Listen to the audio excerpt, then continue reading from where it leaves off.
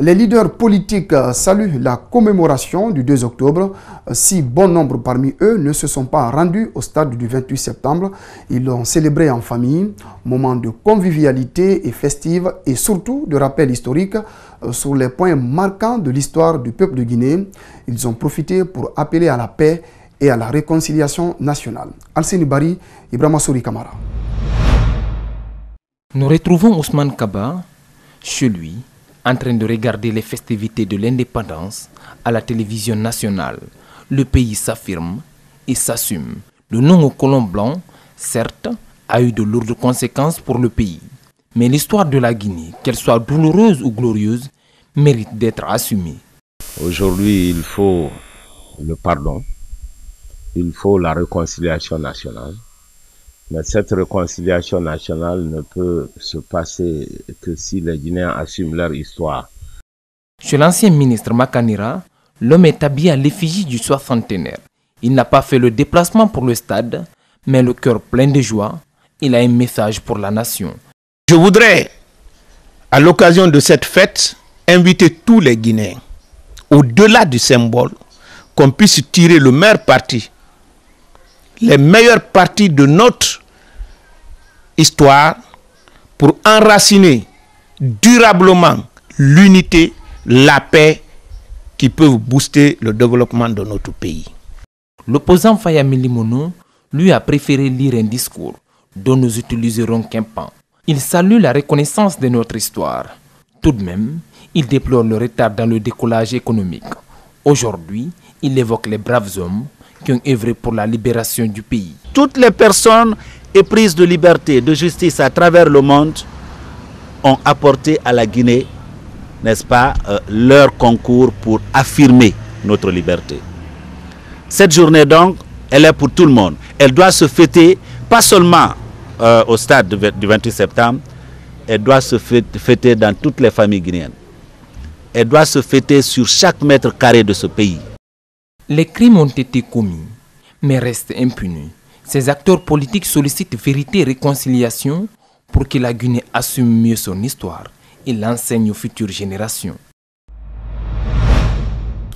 Direction l'intérieur du pays où les festivités se sont aussi déroulées.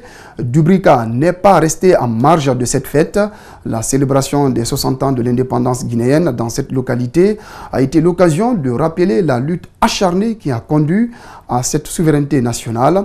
Les messages de paix n'ont pas manqué à l'endroit des populations qui se sont fortement mobilisées à la cérémonie. Mohamed Damarou Kamara, Ibrahim Assouma. Depuis leur loge, les officiels ont pu savourer le traditionnel défilé sous les résonances des fanfares et des percussionnistes. L'autorité de la ville saisit l'occasion pour inviter les populations à raffermir les liens de fraternité dans le strict respect des valeurs de la République. La population de Dubreka est une et indivisible. Il ne faudra pas qu'à cause de certaines considérations irrationnelles que l'on effrite le tissu social. Il faut l'éviter. Nos liens de parenté, nos amitiés et nos relations humaines doivent être préservés. 60 années de liberté d'affirmation de l'identité nationale. Mais au-delà de cet aspect, à Dubreka, tout comme dans toutes les autres villes du pays, les grands défis de développement sont connus et ils ne sauraient être relevés sans l'implication de l'ensemble des couches sociales, a rappelé le préfet. Le bonheur et le changement qualitatif et quantitatif dont nous aspirons tous ne sera possible que si chacun apporte sa contribution en faveur de l'émergence de notre pays. Que chaque citoyen, selon sa responsabilité administrative et sociale, fasse convenablement ce qui lui est confié comme tâche. Indépendants depuis plus d'un demi-siècle, les populations de Dubreuil, à l'instar des compatriotes aux quatre coins du pays, ont exprimé leur unité et toute leur fierté par une forte mobilisation et dans une atmosphère festive. À Bokeh, la place des martyrs a connu la mobilisation totale des populations venues de toutes les collectivités de la préfecture. On voit tout cela dans ce reportage de Fodé Omar Kamara et Salifouli Fossissé. Jeudi 2 octobre 1958, mardi 2 octobre 2018. Voici 60 ans depuis que le peuple de Guinée a accédé à la souveraineté nationale après 60 ans de domination française. Après le dépôt de gerbes de fleurs, les autorités locales de Bouquet se sont succédées à la tribune pour s'adresser aux populations mobilisées pour la cause.